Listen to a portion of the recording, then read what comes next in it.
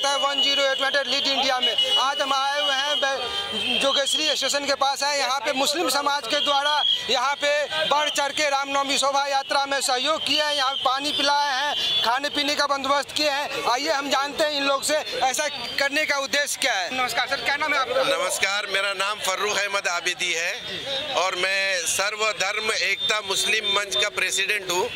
और आज हमने आज की वक्त की ज़रूरत के हिसाब से श्री राम नवमी भव्य शोभा यात्रा का हमने हार्दिक स्वागत किया है और इसके अंदर बढ़ चढ़कर जो हिस्सा लेने वाले हैं और जिनके संरक्षण में किया है, हमारे नगर सेवक, शिवसेना के सर राजू पेडनेकर भाई ने हमारा बहुत बहुत साथ दिया इनके आशीर्वाद से और इनके इनके संरक्षण के अंदर। और इनकी सरपरस्ती के अंदर हमने ये बीड़ा उठाया और हमको इनसे बहुत हिम्मत मिली।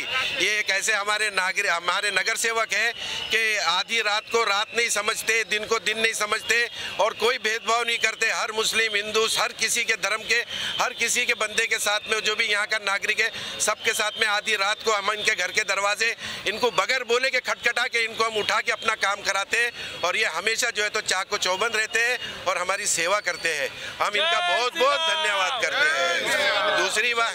यात्रा सफल संपन्न हुआ है। इसके लिए कैसा लग रहा है हमको हम हम इतना सहर्ष और उल्लास महसूस कर रहे हैं इतना अच्छा सफल हुआ है ये शोभा यात्रा कि हम इसकी मिसाल कायम करना चाहते थे और हमने चाहा कि एक मुसलमान और हिंदुओं के अंदर जो है तो आपस के अंदर जो मतभेद है वो खत्म हो जाए और हम आपस में भाईचारे की तरह जैसी हमारी गंगा जमनी सभ्यता है, उसको मद्देनजर रखते हुए हम हिंदू मुसलमान भाई आपस से जो है तो इस हिंदुस्तान के अंदर अपना हक समझ के जिए और आदर सम्मान अपने भाइयों का एक दूसरे का करें और हम चाहते हैं कि हम सब मिलजुल कर रहे। दूसरी खास बात यह है कि हमारे प्रशासनिक अधिकारी श्री अविनाश बैरागी साहब का संरक्षण और उनकी सरपरस्ती में उन्होंने बहुत हमारा सपोर्ट किया और पूरा लॉ एंड ऑर्डर का निज़ाम को मेंटेन करके रखा।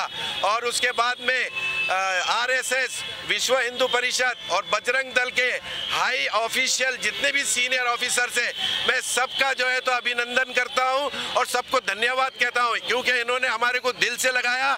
मैं इनके ट्रेनिंग सेंटर पर भी गया। इन लोगों ने हमको सर आँखों पर बिठाया, बहुत इज़्ज़त दी और प्यार और सम्मान दिया और हमको गले से लगाया। और हम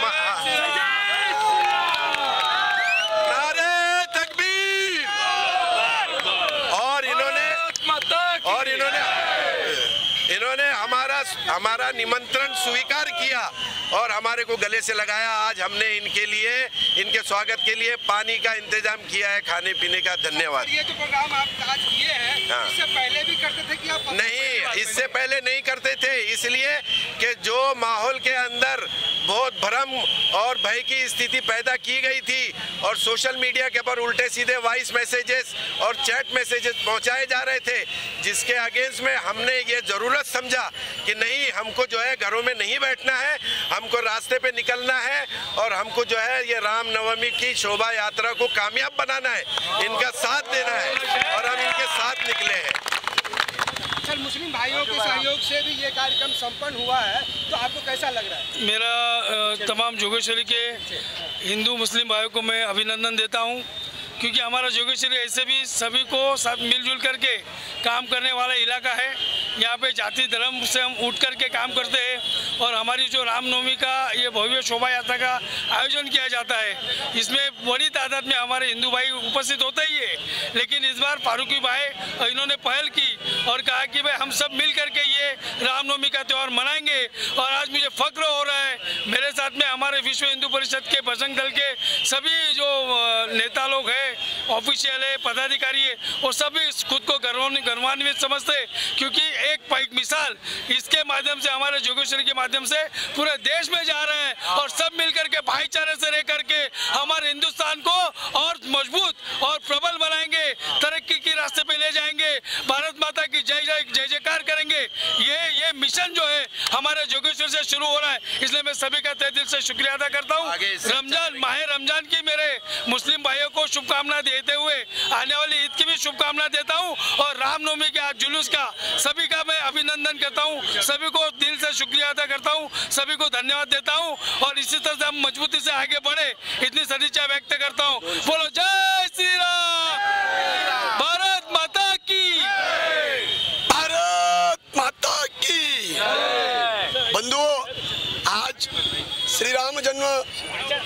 नवमी उत्सव के जो हमने रामनवमी शोभा यात्रा का आयोजन किया था, उस शोभा यात्रा विश्व हिंदू परिषद अंतर्गत बजरंग दल ओशिवरा जिला द्वारा यह शोभा यात्रा थी। यहाँ पर सर्व धर्म मुस्लिम एकता मंच की तरफ़ से आए हुए सभी राम भक्तों को पानी की व्यवस्था की गई थी। उसका उन्होंने हमें कल फ़ोन किया और हमारे लोगों ने उनका स्वागत किया। इस प्रकार से यहाँ पर भव्य पानी की व्यवस्था उन्होंने किया है। उनके सभी साथियों को, उनके सभी मित्रों को और उनकी संस्थाओं को विश्व हिंदू परिषद बजरंग दल उनका हार्दिक हार्दिक अभिनंदन करता है। मला दोन शब्द सांगायचे आहे। Bajrang Dal R S S और विश्व हिंदू परिषद के ऑफिशियल्स जिसके अंदर सचिन शेट्टी साहब है अजीत भाई है आशीष भाई है और प्रदीप भाई है और सुजीत जी है और आशीष यादव जी है। इनका बहुत बहुत आभार और धन्यवाद करता हूँ मैं। इन्होंने बहुत कोऑपरेट करा हमारा। बहुत बहुत शुक्रिया। आशीष जी क्या कैसा लग रहा है सर आपका सफल प्रोग्राम होके? सबसे पहले जय श्री राम और फारूकी भाई और फारूकी भाई के जे जितने साथ में जो ये सेवा दिए राम भक्तों के लिए उनके लिए तहे दिल से धन्यवाद और अभिनंदन।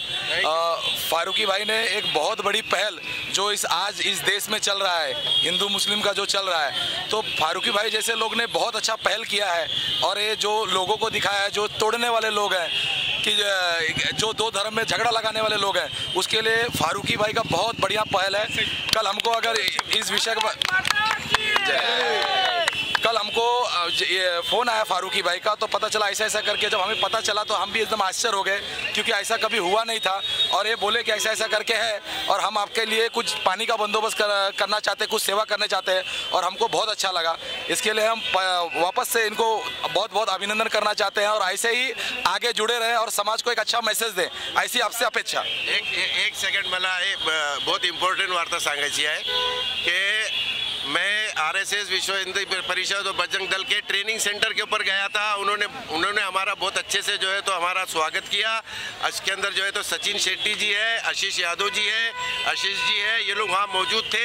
अजीत भाई भी मौजूद थे उनसे मेरी मीटिंग हुई है और बहुत खुशी से उन्होंने हमारे को दिल से लगाया। उनका मैं बहुत बहुत धन्यवाद करता हूँ। मैसेज यही है कि तुम्हारा प्यार हम तुम्हारे प्यार के भूखे हैं और हम तुम्हारे पे अपनी जान निछावर कर देंगे।